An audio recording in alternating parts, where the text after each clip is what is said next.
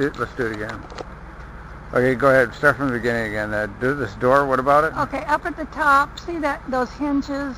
There used to be a big door there that would lift up, and then they had like a pulley thing, and wi- on with a rope, and they would pull bales, bales of hay up there and put them in the barn. Yeah. Well, my uncle had a truck sitting here, and the door was up. So my my cousin Joni and I, we went up there, and there was about a foot ledge there. and We were up there dancing in that little little place. Well, see, Grandma told us to go get the eggs, so we set our basket of eggs down behind the truck that had the hay on it.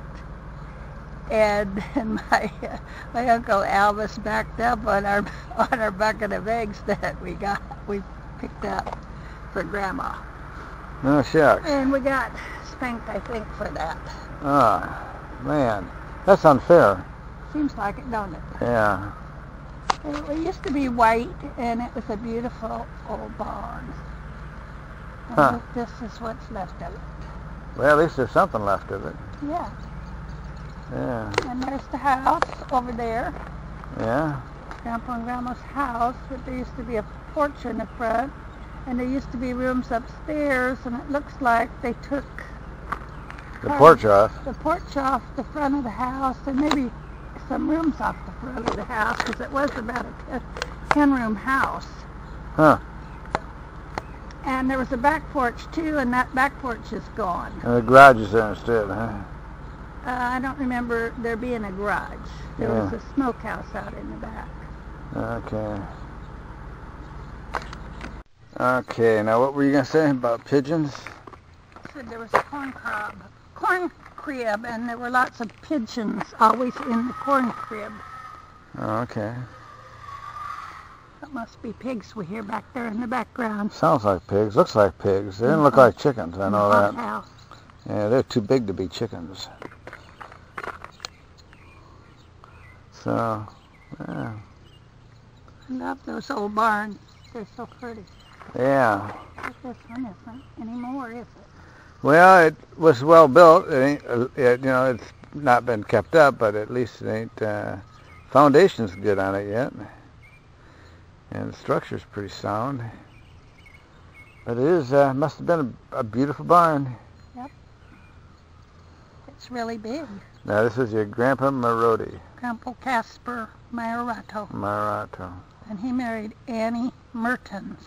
Annie Mertens. I went to school at Mertens. Did you? and probably wasn't related. Yeah. Okay. Want to take a look at the chickens? You ain't a pig. Yeah, they could be pigs. Okay. Well, let's see. What are they? Chickens or pigs? They could be chickens. They could be chickens. They run. They they they they run away like chickens. He's sleeping. Maybe he's not as uh, a scaredy cat. Oh, yep, he is. He just woke up. What's going on here? Yeah, well. All right. All right. Uh, we're not we're not pork eaters ourselves. Yes, uh, you're all good. You're all good. It's all good, folks. It's all good. All right. And I tried to cut him too short. And uh, Uh, wagon tipped over and Start over on that. You were uh, you were you were driving uh, horses in a wagon. yeah, out in the field. Okay. And for some reason, unbeknownst to me, the horses started running. And I didn't, nobody ever told me how to, I was supposed to be up there driving the horses, but I didn't know how, nobody told me how to do that. And I cut them too short. And when they turned around too short, the wagon fell over and I fell over in the wagon and it made a big mess and they had to repair the wagon then. Well, did you get hurt? I don't remember getting hurt. Huh. Bet you won't do that again. Probably not. I tell you what, if I got a team of horses and a wagon, I don't know if I'm going to trust you. Don't. Trust Okay. All right. But I'll let you drive. I get to drive a six horse or eight horse. Right? Well, that's only a six horse. Six horse. Just don't cut it short. And uh, I'll show you where the brake is. Okay. Okay. I want you to talk about that, uh, uh, you know, talk about the place, particularly the windmill and Rosemary. Okay. This is the Kennedy place. Um, um, we moved away from here when I was six years old. Rosemary was born here. Our dog had puppies upstairs, and uh, she had five. Pu- I mean, she had four puppies. There were four of us kids, so we each had our own puppy. And uh, there was a windmill that's gone now. Rosemary climbed up to the top of the windmill. And Dad said, come down, Rosemary, and I will give you some candy. And when she came down, Dad gave her candy on the butt. Oh. And how old was she about? About a year and a half or two years old. Boy, it's pretty young to be climbing a windmill. Yep. Do you remember that building over there? This one uh, over here? I don't remember that building. It looks like it could have been here at that time. Didn't you also have a dog that you, that uh, D- Dennis? Yeah, Uh, Mom gave each one of us a puppy, and Dennis put my puppy under the corn crib, under a tile that ran under the corn corn crib. could that corn crib be this one over here? That's not a corn crib, that's a silo. Okay, silo. okay, I don't see the corn crib that Uh. was here. okay. Anyway, the dog. Three three weeks later, I was out there and I heard the dog crying, and it and it got so skinny in that three weeks time that my mom gave it to Charlie Peeper, my cousin, because Dennis was so mean to it. Uh, yeah, well. Now there's a looks like a that there's a little silo here. Do you remember that? That could have been here. No, One I don't remember any of those buildings. Huh. Well, okay, and uh, this is 140th Street, I think, or, um, and uh, your your grandpa's place is uh, just down the road a little bit, about a mile from here, isn't it? Mm-hmm. And what's the name of that other uh, town over here? That. Oh, Mount Hamill? Yeah, Mount Hamill. That's right. Yeah, That's- there was a grocery store there. Grandma used to send us to the grocery store, Joni and I, to the grocery store to get her a loaf of bread or something. And the, the man who ran the grocery store was George Yorkham. okay. But now there's no grocery store in Mount Hamill. There's just uh, Mount Hamill Tap. a Mount Hamill Tap. Yeah, uh, bar there. Okay, we just and Annie. Peeper, that's Aunt, Aunt Annie, was a sister to Grandma Flanders. She just lives close to Mount Hamill. Okay, we saw her house there, right? Yes, we saw her house. Okay, yeah, very close to Mount Hamill. hmm Yeah, okay. All right.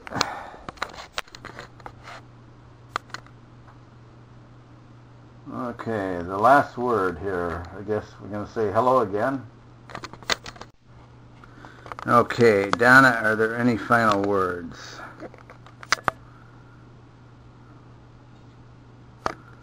Final words about what? Well, we talked about a few things. You, uh, one was uh, when uh, Casper got drunk. Okay, um, well, when we showed, we were standing by the barn and you, we saw the house in the background. Uh, they usually park their car right in there between the house and the barn. And one Sunday afternoon when we were visiting, um, a neighbor man came over and he had liquor in his car and he got Grandpa very staggering drunk. Well, Grandma was very opposed to drinking. Uh, Grandpa ran a saloon, and the only way she would marry him would be if he would sell the saloon and become a farmer. So he did that, sold his saloon and became a farmer. So when uh, Grandma realized that uh, this man, Grandpa was sitting in the car with this man, and they were drinking, and and Grandma, when Grandpa came in the house, he was staggering, so she picked up rocks and threw rocks at the man's car and broke all the windows in his car. And I saw him drive down the gravel road, uh, swerving from one side of the road to the other. Okay, and um, then let's see. Once there was a time when you were uh, asked to get eggs and uh, pick up some, you know, put some eggs away. And what was about, that about? Um, Grandma had diabetes because she liked to eat a lot of sugar, so she got sugar diabetes. And then they cut some of the toes off on one foot, and then she went back and got the other foot cut off, and she was in a wheelchair. And uh, she asked Joni and I to go out and get eggs. J- Joni was a, my cousin who was the same age as I was, and we found some eggs that were rotten in the barn nest that had rotten eggs in it. And so Grandma said, well, just go ahead and put them in the case anyway. So we did that. And uh, once a week, the priest would come over from the Houghton Catholic Church, and he would bring communion and hear Grandma's confession. So after the priest left that week, uh, she said, Donna, would you go in that carton and get those rotten eggs out? She repented. She repented. Okay. And there was a time when uh, you had a, uh, was it your mother's uncle that was uh, a pioneer of ethanol here in Iowa? Yeah, I think his name was uh, Henry Conrad. Henry Conrad, and he. Uh, my uncle on my mother's side of the family. I think he was Grandma Flanders' brother. Okay, and he was the one that developed ethanol for farmers. Right. And um, uh, anything else about that?